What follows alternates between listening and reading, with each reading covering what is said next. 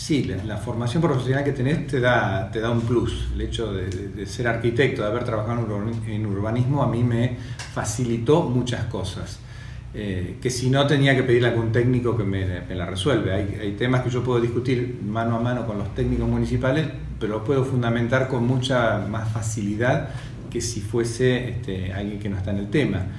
Eh, además, bueno, fui profesor 16 años en la Politécnica y el, contacto con los chicos, este, la evolución de la educación durante esos 16 años también para mí me marcó mucho y, vi cosas que realmente hacen que creo que la educación merece una revisión, pero que requiere en este momento, el siglo XXI, que estemos cada vez más capacitados. ¿Qué sentís que cuando la gente critica que tenés un perfil más, más técnico y que eso se vuelca, por ejemplo, en la en la obra pública y no tanto en lo social. Esa, la gente disocia esa cuestión. ¿Vos cómo lo percibís? Eh, sí, yo percibo que es así, que la gente disocia, ¿no? que dice, bueno, Bongarato es cemento, viene como el padre, es como, eh, viene del abuelo, mi abuelo era el tano constructor, que pudo tener un hijo ingeniero, lo pudo hacer estudiar, le pagó los estudios, y yo soy el arquitecto, y bueno, este, soy una versión distinta a lo que es el ingeniero eh, los arquitectos concebimos los edificios, este, el uso del cemento, el hierro, para que las personas vivan adentro. O sea, no es que hay, eh, hay, un, sentido a lo que hacemos los arquitectos que tiene que ver directamente con la persona que va a utilizar eh, el edificio o el lugar o el espacio. O sea, el pavimento no es solo cemento, el pavimento es eh, mejoramiento en el tránsito, más seguridad para la gente, menos tierra que vuela para los vecinos que están este, al lado del pavimento. Las plazoletas no son solo césped, es este, cuando una ciudad está linda, eh, el espíritu de la gente que vive en esa ciudad está mejor.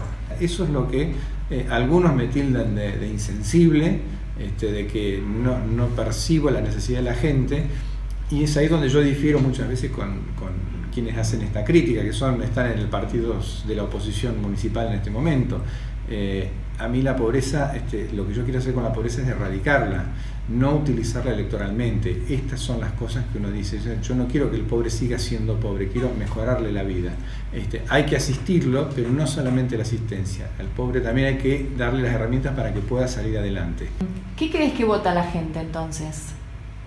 Yo creo que la gente vota, es una mezcla y depende cada elección. Yo tengo varias elecciones en sí. Vota en parte a la persona eh, y vota también con la situación electoral que hay. Y también vota influido por lo que son las campañas electorales. y hay veces que hay campañas diseñadas por gente que eh, lleva alguna idea en la, comunidad. Eh, y eso hace que este, pueda beneficiar o perjudicar. A mí hay, hay una campaña hecha que dice, bueno, Ongarato es Macri.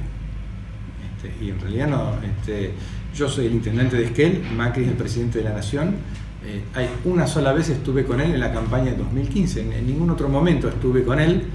Eh, yo soy radical, Macri es del PRO, es cierto que estamos en una coalición, nadie lo esconde eso, nadie lo niega, pero eh, yo estoy en cosas muy distintas a las que está el presidente de la Nación. Y a mí lo que me interesa, más allá de quién gobierna en Buenos Aires y de quién gobierna en Rawson, yo tengo que lograr traer cosas para mis vecinos en mi ciudad. No tratan de indilgarme a mí la responsabilidad de la inflación, este, con eso de que va un garato en Macri. Y no es así. Este, yo no puedo resolver y ningún intendente, si algún candidato te dice que te va a resolver el problema de la inflación siendo intendente, no está faltando a la verdad y lejos. ¿no?